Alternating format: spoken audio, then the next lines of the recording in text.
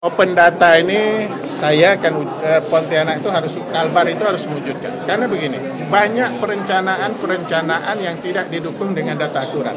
Akibatnya apa? Dia perencanaan itu tidak bisa terimplementasi dengan baik. Kemudian eh, satu program tidak akan terimplementasi dengan baik dan tidak akan tahan lama.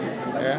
Karena dia tidak didukung data akurat. Nah, satu perencanaan yang baik supaya ber, ber, bertahan lama ya satu apa indikasi indikasi indikasi pencapaian ya yang perlu waktu yang lama harus didukung dengan data yang data yang terintegrasi data yang terakselerasi ya itu yang paling penting nah, tanpa itu nggak akan ada perencanaan yang baik percaya harus apa terintegrasi Nah, kita open data. Kemudian data yang sudah terintegrasi harus mudah diakses, dibuka.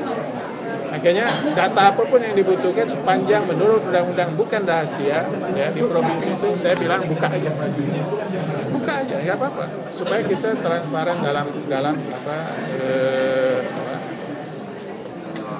dalam tata kelola pemerintahan. Yaitu satu data.